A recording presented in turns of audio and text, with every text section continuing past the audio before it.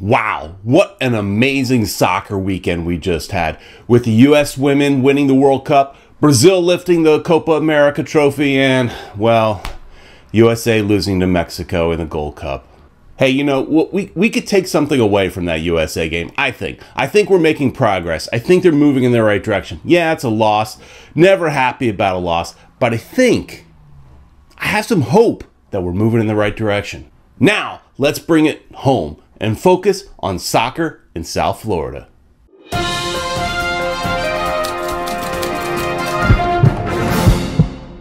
I'm Peter Brown, and you're watching Futbol Miami TV's local news. This week, we start with an update from Lockhart. You guys asked for it, so here it is Lockhart Stadium. As you can see, everything has been cleared from Commercial Boulevard all the way to the airport. Both the soccer and baseball stadiums are completely gone. Only one little building is standing, and that's for construction, uh, you know, guys. Now they're ready to build, but before building can start, there is still the little detail of the lease. Fort Lauderdale allowed Inter Miami to clear the land while they worked on an agreement. There is a motion to enter into a comprehensive agreement with Miami Beckham United on Tuesday's City Commission agenda this week.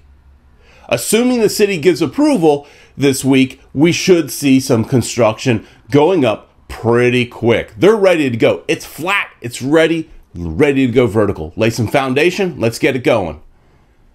Just to prove it Fort Lauderdale. The MLS transfer window opens this week on July 9th. We've heard lots of rumors about who's coming to Miami over the next month we should see some actual signed contracts. MLS Buzz Twitter uh, account is reporting confirmation that Inter Miami is interested in 19 year old Matías Pellegrini. We talked about that recently with this quote from Pellegrini.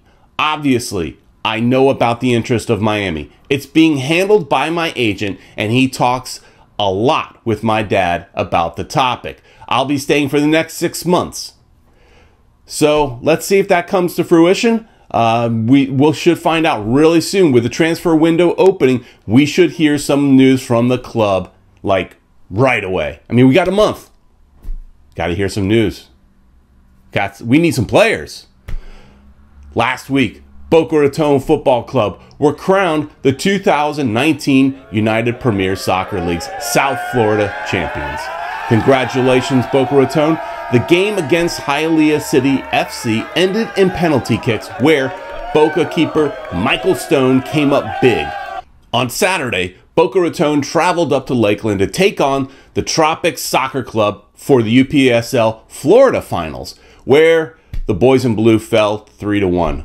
Congratulations to our friends in Boca and you, Ocho Cinco, for your first year with Boca Raton, first year as a soccer player, winning a trophy, in their first year in this league.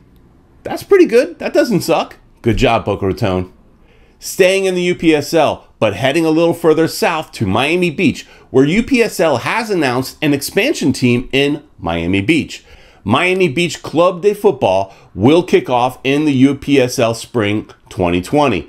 Owners Tony, I don't know how to say his last name, Ilfrate and Filippo Bertolini have strong connections to the Italian soccer community and a strong plan for the future in Miami Beach. The team will play in South Florida Division and games will be played at Flamingo Park.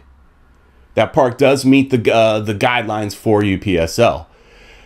The team has plans on developing an academy system and currently is exploring affiliations with a number of Italian professional clubs. That's pretty good news. Soccer growth in South Florida is truly incredible, as there are more opportunities for young soccer players than ever before. Question for you this week is this What do you want to see from us here on Futbol Miami TV? Currently, we're doing the news twice a week, once in, uh, in English, watching that right now, and again with Uncle Ed in Spanish. And on Fridays, we have some random videos that we'll put in when we get them done. In a comment last week, it was kind of funny. I was basically called old and corny. I can't help that. I'm sorry. I am old and I am corny. What can I do? But what else would you like to see? That's my what I'm curious about. This channel is just getting started. So tell us in the comments what you would like to see on this channel. And we'll see what we could do to, to, to make it happen. Make sure to check out Uncle Ed on Wednesdays for the news in Spanish. Thanks for watching. Please like and subscribe this video, and we will see you next week.